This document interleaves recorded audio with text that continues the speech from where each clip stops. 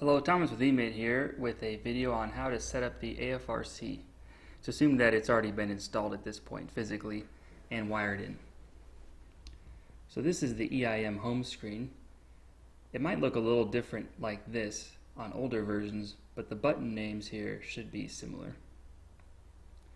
The first thing you'll want to do is make sure you're in engineering access mode.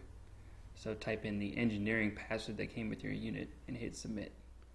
After submitting, it should say Access Engineering at the bottom. After that, go to the Engine Info screen and choose your engine configuration on the right side, where there's rich or lean burn, single or dual bank, wide or narrow band, and set point or auto control. If you have an AFRC light, you're required to have a single bank, and you're also required to have set point control as your control type. In set point control, the user will pick the target O2 set point. In auto control, which is available for rich burn only, the AFRC itself will choose the set point and it will adjust the set point as needed when engine operations change. So I'll pick single bank auto control and hit submit.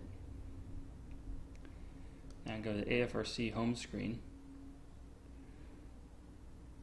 setup, the next thing you want to set up is the run signal trigger. The run signal trigger is what uh, condition the AFRC will use to consider the engine to be running. If you use auto detect, it will use any of these. Usually, pre-cat thermocouple is the sensor used. You can choose the trigger temperature based on the engine the engine runs hotter, you can put the trigger temperature as higher so that the AFRC does not begin controlling until the catalyst reaches that temperature.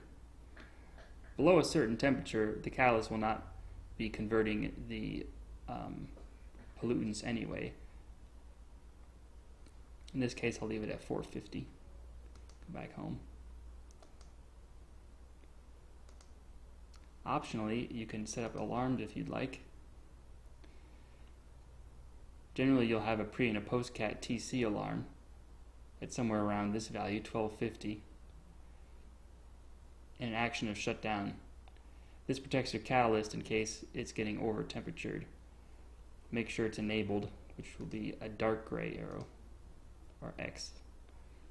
If the action is shut down, then when the alarm happens, the AFRC will trip its error relay, which is one of the pins on the uh, input connector.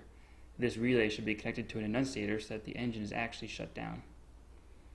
If the action is warning, then the engine will not be shut down, but it will generate uh, an event on the alarm screen.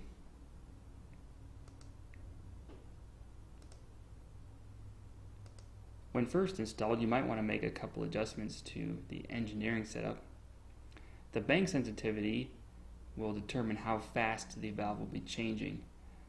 In some situations, you might want the valve to change more slowly or more quickly.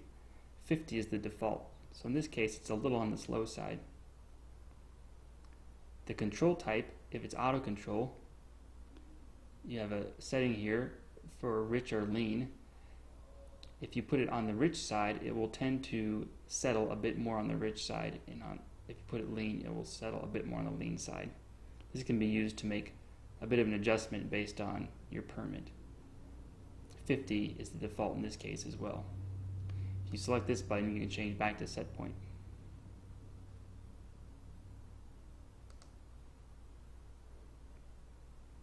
The load delay is the amount of time after the run signal is triggered before the AFRC will actually begin controlling.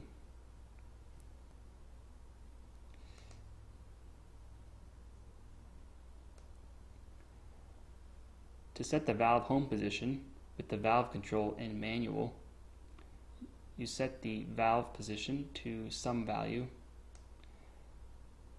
and then go from manual to auto. Whatever the position is when it goes from manual to auto will be saved as the home position. In this case, a red line was placed there, and the home position is now 349. When the valve control shows engaged, then AFRC is ready to control when the run signal happens. That's all you need to know for basic setup of the AFRC. Thanks for watching.